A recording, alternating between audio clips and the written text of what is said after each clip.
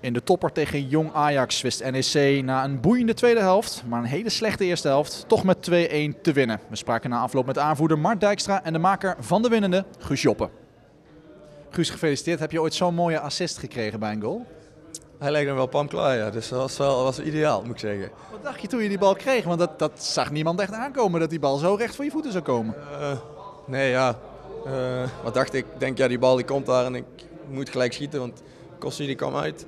Dus ik denk, ja, gewoon niet nadenken en uh, doen. En ja, hij ging goed. Hebben jullie vaker een impuls nodig, een tegengoal, om erachter te komen dat er eigenlijk veel meer in het vat zit? Um, nou ja, zo, misschien begint het wel daarop, daarop te lijken. Alleen daar moeten wij voor zijn. En daar moeten we wel even, even goed naar gaan kijken. En dat hebben we net al in de kleedkamer besproken. Dus iedereen, iedereen beseft dat en is ervan op de hoogte. Dus nu, nu is het zaak dat, we dat, dat dat niet meer voor gaat komen. Het was geen beste wedstrijd in ieder geval. En, ja, zeker de eerste helft was slordig, echt ook van beide kanten vond ik. En uh, na die 1-0 worden wij pas wakker eigenlijk. Dat zie je, dan gaan we in één keer weer voetballen.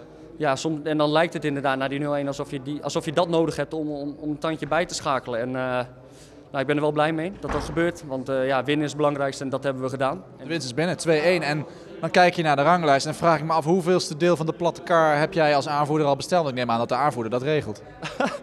ik weet niet of ik dat moet regelen, maar ik heb nog niks besteld en dat als het bij mij in de handen ligt, dan gebeurt dat voorlopig ook nog niet hoor. Ik, wat ik zeg, het publiek is enthousiast, dat is hartstikke belangrijk en dat, dat hebben we ook nodig. En dat, dat geeft ons ook veel, veel energie.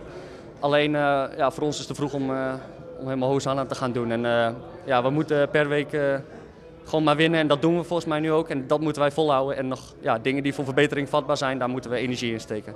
Maandag alweer aan de bak tegen Telstar. Dat is een uitwedstrijd en ook niet een hele makkelijke. Nee, Telstar thuis en die zijn best sterk en uh, ja, je weet dat uh, dat lastig wordt. Elke wedstrijd uit is denk ik lastig, dus we moeten, kunnen onze borst van nat maken. Ja. Eerst nog even een paar keer die goal terugkijken vanavond. Uh, ja, een keertje of twee is genoeg.